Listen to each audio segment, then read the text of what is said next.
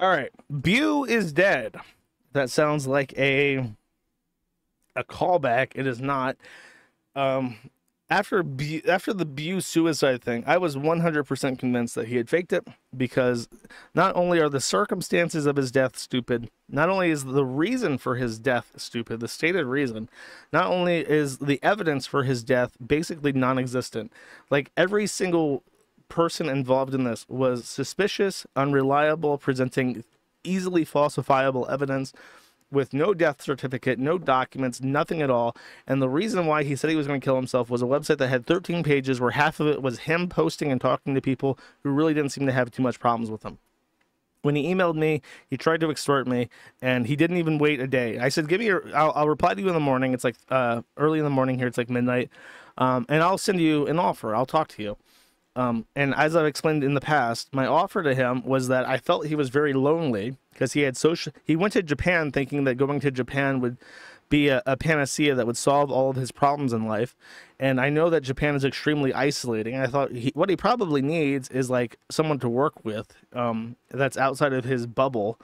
And I was going to offer that he work with me on on projects that I had but he uh, killed himself apparently before I could reply. And all I said was, like, bro, I have to talk to my attorney because uh, I don't know what the fuck is going on, and uh, I'll write in the morning. And he didn't wait. He freaked out um, overnight when he, I guess, when he saw it, and uh, apparently hanged himself on a doorknob.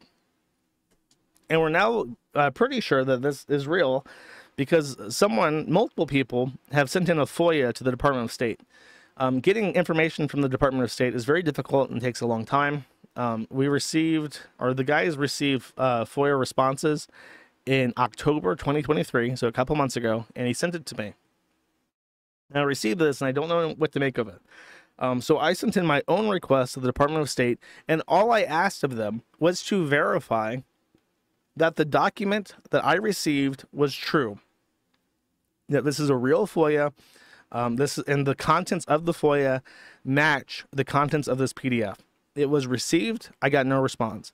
I sent in another message to them months ago, or like this year, like in January, saying, I have not received a reply to my FOIA. And they said we uh, received your FOIA and completed it, and you have you received a response by email. I never received a response by email. I've double triple checked. So I sent them a message again saying, please resend me that by mail to Hardin um, at his PO box in DC, so it's not that far away. And uh, months later, I never received a response to that. Hard never received any email or paper copy of anything. So I've been just been waiting, and I was actually thinking of suing them because Hardin is a FOIA lawyer by by trade. That's like his thing is that he does FOIAs most of the time. In fact, a majority of the country's FOIAs are uh, that go to court are litigated by him. Like that's his bread and butter. He does FOIAs and he loves doing FOIA cases, and he had no issue trying to look into the Byuu stuff for me. Um, but before that happened, someone posted their own FOIA, and it matched very closely to what I had received. And um, it's pretty safe to say that the contents of this are legitimate, and if they are, uh, that is dead, and that the story that Hector Martin published is the actual story. That there was a tranny on the phone with him and instead of talking him out of suicide, he was there and recounted what weird indie music he was listening to on the phone and that his ashes were sent to his coworker in in Hong Kong, like the dumbest and most unbelievable. Despite the fact that that Byuu was married and had a common law spouse in Ohio, that the ashes were sent to his buddy in Hong Kong in a fucking cookie jar. It's just crazy. It's the fact that he is dead is more unbelievable than um than that he would try to fake his death, even knowing it, because it's just such a stupid fucking story. It's and it's such a stupid fucking reason. It's unbelievable. No, I killed him. Yeah, you uh, don't spoil it. Uh, and the clues like this are.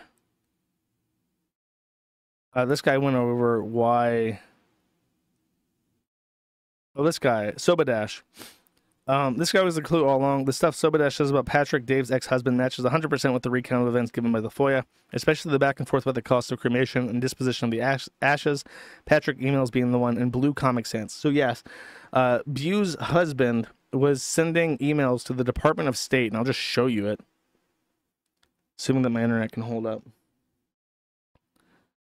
This, this is how Byuu's husband was uh, uh, communicating to the United States federal government in regards to um, his dead husband's remains. Extremely professional, if I do say so myself. As a font expert. Uh,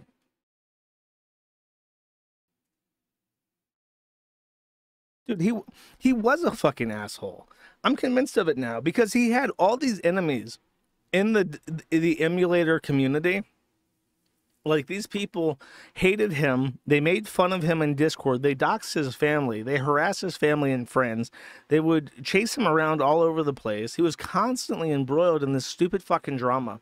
And then i think when it came down to killing himself um he had two choices he could just kill himself because he wanted to die because he was a fucking loser who had moved to japan had no friends in japan and was in a foreign alien country as a pudgy white transvestite and uh, option B was try to make some kind of like social movement out of it. And he decided, fuck it, I'll just blame the Kiwi farms and I'll get the Kiwi farm shut down with my suicide.